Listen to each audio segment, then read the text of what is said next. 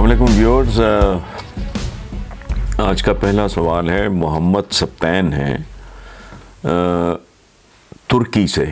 ताल्लुक़ उनका पाकिस्तान से है शहर का नाम उन्होंने नहीं लिखा।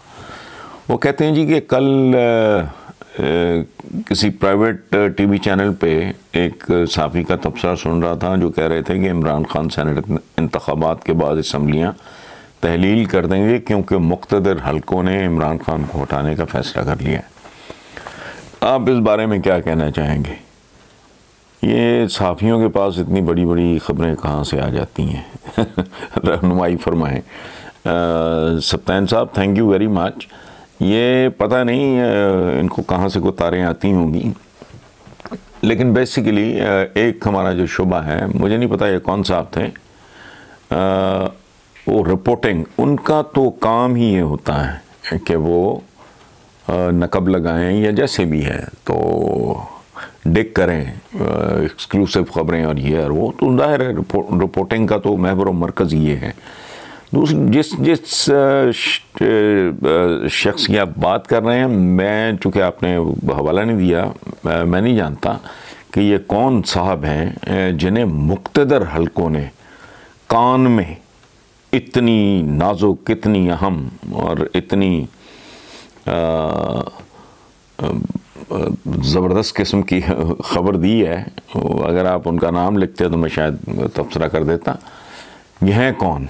जब तक ये नहीं पता चलता how credible how senior how influential how active ही है उस वक्त तक मैं क्या कह सकता हूँ? अच्छा दूसरी बात यह है कि इमरान खान को हटाने के बाद चॉइस या ऑप्शन क्या है? कोई जो ये फैसले करते हैं, ज़ाहिर है को आसमानों से उतरे हुए लोग तो नहीं होते ना, इंसान ही हैं। कॉमन सेंस है, आप टर्की में बैठ के ये माइंड अप्लाई करके देखें, क्या चॉइस है? नवाज़ शरीफ से माफ़ी मांग के उसको वापस ले आएँगे। उनकी उन साहबजादी को तश्तरी में रख के वर्क शर्क लगा के सोने चांदी के पेश कर देंगे। जो तमाम हदें अबूर कर चुकी हैं। और पूरे पाकिस्तान की ज़बान पे है कि इन लोगों ने इस मुल्क के साथ क्या किया। मैं अब क्या उसकी तफसील में जाऊँ? आपको भी पता है, मुझे भी पता है। बच्चा बच्चा जानता है। अच्छा या कम अज़ कम जो लोग रियली मैटर करते हैं इस मुल्क में, वो तो सब जानते हैं। और जो गैर जानबदार है, वो भी अच्छी तरह जानता है। चॉइस क्या है? जरदारी साहब या पीपल्स पार्टी वो तो वैसे सिंध तक सुकड़ गए। अच्छा तीसरी बात ये है, जो सबसे अहम है मेरे नज़दीक, कि इमरान खान जैसे शख्स को टर्म पूरी ना करने देना या उसकी टर्म का पूरा ना होना बहुत बड़ी ट्रेजिडी होगी। क्योंकि ये शख्स जो है, ये आखिरी लम्हों में भी बाजी पलटने की सलाहियत रखता है। इसमें तो कोई शक नहीं। और आपको इस बात का बहुत अच्छी तरह अंदाज़ा होगा कि मैं जिस तरह आउट द वे जाके और ऑल आउट सपोर्ट करता रहा हूँ पीटीआई को, इमरान खान को उस तरह मैं अब उनको सपोर्ट नहीं कर रहा और उसकी वजह है। उसकी वजह यह है कि मैंने तो दयानतदारी से जो महसूस करना है वो कहना है। मैं ना सियासी लीडरों को एक ख़ास हद से ज़्यादा मैं इनको अहमियत नहीं देता। हम जैसे जो मुल्क होते हैं, हिंदुस्तान हो गया, पाकिस्तान हो गया, श्रीलंका, ये यहाँ शख्सियत परस्ती है। शख्सियत परस्ती को मैं बुत परस्ती से बदतर समझता हूँ। बंदगी क्या औकात है? उसकी परफॉर्मेंस है। मेरी क्या हैसियत है? मेरी क्या औकात है? अगर दो तीन स्कैंडल आए तो, तो किसी को चाहिए मेरे तो नाम पे भी ना थूके। कि इसने ये गलत या ये नाजायज़ काम किया है। सो बंदों की परफॉर्मेंस होती है। और बच्चे के साथ भी आप क्या करते हो? अगर वो अच्छा परफॉर्म कर रहा है, आप उसको अप्रिशिएट करते हो, उसको इनाम देते हो। अगर उसके ग्रेड्स गिरना शुरू हो जाते हैं तो आप उसको वार्निंग देते हो।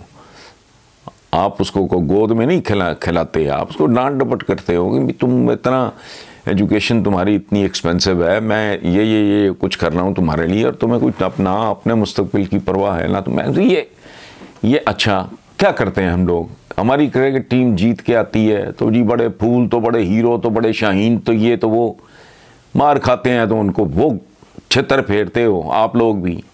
वही तो क्रिकेट से कोई दिलचस्पी नहीं है, लेकिन अवाम का रवैया आपके सामने है। तो ये नॉर्मल सा एक रवैया है तो मैंने अगर पीटीआई को सपोर्ट किया तो इसका मतलब ये नहीं है कि मैंने को हलफ उठा लिया था, या मैंने को कसम खा ली थी कि ये स्याह करें, सफ़ेद करें, मैं इनको सपोर्ट करूँगा। हरगिज़ नहीं। मैं तो परफॉर्म करेंगे तो शाबाश, ज़बरदस्त कीप इट अप नहीं करेंगे, मेरा नहीं है इशू इसका मतलब है कि मेरी खुदा ना खास्ता जरदारी साहब के साथ कोई जाती, कोई सवाल ही नहीं पैदा होता. He is a wonderful human being वैसे तो इंसान मिले, मैं जितने पॉलिटिशियंस को आज तक मिला हूँ. मलक मराज, खालिद साहब इस तरह के जो बुज़ुर्ग थे, अल्लाह उन्हें गरी के रहमत करे, उनको छोड़ के जरदारी साहब बहुत एज एन इंडिविजुअल बहुत ग्रेसफुल बहुत बावकार और खूबसूरत, मजाल है उन्होंने कभी आज तक। जब कभी उनसे मुलाकात हुई है, एक बार भी मजाल है उन्होंने कभी इशारतन भी ज़िक्र किया। मेरा एक ज़माने में मैं बीबी के साथ मैंने ट्रैवलिंग भी बड़ी की है और मैंने पीपल्स पार्टी के लिए, वो तो much before this marriage Benazir तो हाँ नहीं, आ ही गई थी। जाओ लग के दिनों की इब्तदाई सालों की बात कर रहा हूँ तो मैंने तो इनके लिए जेलें भी काटी थी कभी उन्होंने गिला शिकवा नहीं किया। बहुत बाबकार। लेकिन अच्छा मैं कहता हूँ कि चलो, मेरे पास कोई सबूत नहीं है I am not an eyewitness या मेरे पास है नहीं सबूत, लेकिन मेरे लिए किसी सियासतदान का बदनाम होना ही काफ़ी है, चाहे वो गलत हो। जो आदमी अपनी साख की हिफाजत नहीं कर सकता। वो मुल्क की हिफाजत कैसे कर सकता है? हर वो आदमी जो बदनाम हुआ है पैसे के हवाले से, लूट मार के हवाले से कमीशन किकबैक या जो जो जो गंद बला है, वो अगर नहीं भी है तो जिम्मेदार है। बात सुने, ये तो हम आपस में है ना जी। पाकिस्तानी भी हैं तो मुसलमान भी हैं तो बरदर भी हैं तो ये भी है तो वो भी है। जना साहब के बारे में, बाबाए कौम के बारे में, कायद आज़म के बारे में, उनके दुश्मनों, गैर मुस्लिमों में से कभी किसी एक ने एक लफ्ज बोला, उनकी उनको कहते थे इनकरप्टेबल अनपरचेजेबल ना इसे करप्ट किया जा सकता है, ना इसे ख़रीदा जा सकता है। ये होती है साख, लीडर की। तो ये अगर बदनाम भी हो गए हैं और बेईमान नहीं भी हैं तो कसूरवार है। मेरी तो सीधी सी लॉजिक अच्छा बात हो रही थी कि इमरान की एक शहरत है, उसका एक रिकॉर्ड है को हवाई बात तो नहीं हो रही। मैं अपनी आपकी बात तो नहीं कर रहा। वर्ल्ड कप शर्ल्ड कप मुझे उससे कोई दिलचस्पी नहीं है। मेरे नज़दीक उसकी कोई अहमियत नहीं है, लेकिन कौम के लिए वो एक अच्छा खिलौना है, तोहफा है, ये इनको पसंद है, गोरों की ये यादगार तो बस ठीक है। मैंने जो लोगों से सुना, समझा है, आज तक कि वो नाकबिल यकीन था वो काम? नमल का मैं कभी सूरत आल इसी तरह थी, उससे पहले शौकत खानम का तो मुझे ज़ाती तौर पे, ज़ाती तौर पे पता है। तो मेरी चूँकि उस ज़माने में अलैक्स लैक शुरू हो गई थी early days of Shaukat Khanum तो जो डॉक्टर्स कहते थे कि ये हो ही नहीं सकता टॉप के प्रोफेशनल्स कहते थे हो नहीं सकता, उस बंदे ने करके दिखाया सो, पाँचवें साल मुमकिन है। वो, मैंने कहा ना कि वो बाजी पलटने की है, अहलियत का और एक और इसका डायमेंशन है। आप बीच में जिसे कहते हैं ना, कच्ची टूट गई, जिना दी यारी, पतना तो रोन खड़ियाँ भाई, बीच में अगर आपने कर दिया तो पीटीआई तो फिर कच्चे धागे के साथ बंधी हुई तलवार की तरह लटकती रहेगी, वोटर के सर पे। अगली नहीं तो फिर उससे अगली बार, फिर कोई इनका दाल दलिया बन जाएगा। नहीं, हर ब्लफ, हर एक का कॉल करो। देख लो। अच्छा मैं ये नहीं कहता कि कोई मोजे हो जाएँगे, कोई ये लाहौर में जो कैंपस वाली नहर है, इसमें दूध बह रहा होगा और जहाँ एड़ी मारेगा हमारा मासूम बच्चा कोई, वहाँ से कोई शहद का चश्मा उबल पड़ेगा। नो लेकिन अगर एंड ऑफ़ द टर्म ये बात बिल्कुल वाजे होकर सामने आ जाती है कि चीज़ें ठीक समत की तरफ़ सफ़र शुरू कर चुकी हैं।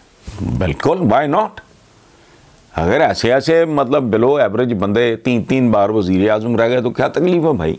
सो मुझे लॉजिकल नहीं लगती बात। मैंने ज़िंदगी में ना कभी रिपोर्टिंग की है, ना मेरा न्यूज़ रूम के साथ कोई ताल्लुक रहा है। मैं डेफिनेशन जो है ना जर्नलिस्ट की, मैं उस पर पूरा उतरता ही नहीं, मैं जर्नलिस्ट हूँ भी नहीं। तो मुझे नहीं पता। दूसरा, मेरा बहुत बड़ा एक हैंडीकैप कह लो आप, कमज़ोरी कह लो जो भी कह लो आप, मैं सोशलाइज बिल्कुल नहीं करता। मैं नहीं लोगों से मिलता मिलाता। घर से बाहर बहुत कम मैं निकलता हूँ। घर में जो आ जाए को मिलने तो सौ बिस मिला सर आँखों पर नहीं तो आई डोंट केयर इसलिए मेरा शोभा ही नहीं है। मेरी ट्रेनिंग भी नहीं है, ख़बरें खबरें, और ना मुझे दिलचस्पी। है बेशुमार मौजूद जिन पर प्रोग्राम्स हमारे टीवी पर चल रहे होते हैं इंक्लूडिंग है, मैं अपने की भी बात करूँ तो मैं कहता हूँ, क्या निकालना है इसमें? सेनेट में वो आ जाएगा, ये आ जाएगा अच्छा उससे क्या हो जाएगा भाई? कौन सी तोप चल जाएगी? तिहत्तर साल होगा ये भी आ गया, वो भी आ गया, इसको भी देख लिया, उसको भी देख लिया, कुछ छोड़ा ही नहीं। फ्यूडल भी देख लिया आपने। आपने कबाली सरदार भी फौत हो गए जो बलूचिस्तान के जमाली साहब, भुट्टो जैसा आपने पॉलिटिकल एनिमल जिसे कहना चाहिए, वो भी देख लिया। वो आपने बैंकर भी आजमा लिया, आपने छोड़ा ही कुछ नहीं। इनके आने जाने से क्या फ़र्क पड़ता है? वो भाई कोई ढंग की को बात करो को लोगों को रिलीफ मिलता है नहीं मिलता? मुल्क थोड़ा बाइज्जत, थोड़ा बावकार। मैं गलबे गुलबे की बात नहीं कर रहा कि को लीड करेंगे दुनिया को दो तो बहुत दूर की कहानी है, सोचो भी ना। सिर्फ़ बाइज्जत बावकार हो जाएँ। बस इतना इतना सी ख्वाहिश है। और जैसे जैसे उम्र बढ़ती जा रही है, मेरे अंदर ये ख्वाहिश तेज़ होती जा रही है। वो बिल्कुल है, थोड़ी कमीनगी बंदा कहता है, यार, मेरे बाद कुछ हुआ तो चलो, बात तो अच्छी है, लेकिन मुझे क्या? मुझे तो ये सुख सुकून चाहिए, उससे बर रास्त मेरी ज़ात कोई मुतासर होती है, नहीं होती, वो अलग बात बट मुल्क थोड़ा बाज़त हो जाए, कोई बावकार हो जाए, इसका शहरी होना या इसका पासपोर्ट जो है, वो गाली ना रहे तो उस, उसका करम है। बहरहाल ये बेशुमार चीज़ें जो डिस्कस हो रही होती हैं हमारे चैनल्स पे और पैनल्स बैठे होते हैं और तकरीरें कर रहे होते हैं बेमानी बातें। हैं क्या हो जाएगा भाई? कोई चला जाएगा को आ जाएगा सेनेट का क्या होगा? बिना हो कुछ भी। ये सेनेट इतने सालों से कौन सा वो? कि सोने की काने निकाल के बैठी है। कुछ भी नहीं है। ये कोई कोई जिसे कहते हैं जौहरी तब्दीली। रियल चेंज उसके उम्मीदवार हैं, हम जैसे लोग तो और बाकी तमाशा चल रहा है, देख रहे हैं। महाराज थैंक यू वेरी मच